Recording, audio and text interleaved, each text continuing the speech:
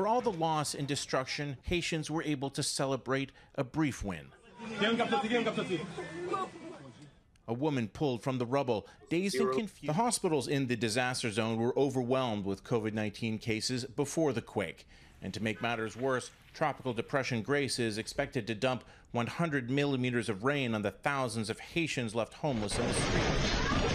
Saturday's 7.2 magnitude quake left the poorest country in the Western Hemisphere once again scrambling to stand on its own. Those on the ground say the area most affected around the town of Les Cayes is operating leaderless. This paramedic helping the U.S. Coast Guard evacuate as many as they could fit on those choppers. It's chaos right now. Um, but even they are hitting roadblocks in part because of political turmoil after last month's assassination of Haiti's president. Haiti can't seem to catch a break. Mike Drolet, Global News, Toronto.